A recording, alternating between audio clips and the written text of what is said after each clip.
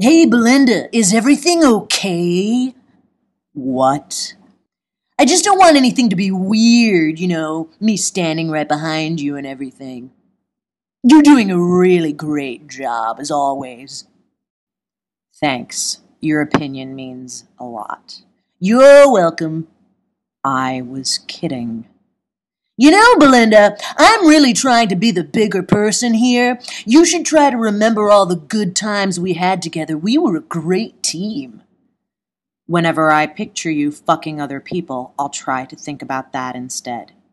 Good, you should. Right. You know, I'd really like to talk sometime. If you have anything to say, you should just say it. I've said everything I care to. Oh, well, I don't really have anything to say, you know, except what I've already said, you know, nothing new there. I'm just, you know, I'm sorry and you're a really good person and everything, blah, blah, blah. Right. So, what do you want to talk about? Oh, I don't want to talk. I just wanted to let you know that if you ever wanted to talk to me about how much you loved me and how great I was to you or how much you're hurting or miss me, you know, I'm open to listening. That's really big of you, Gary. Thanks.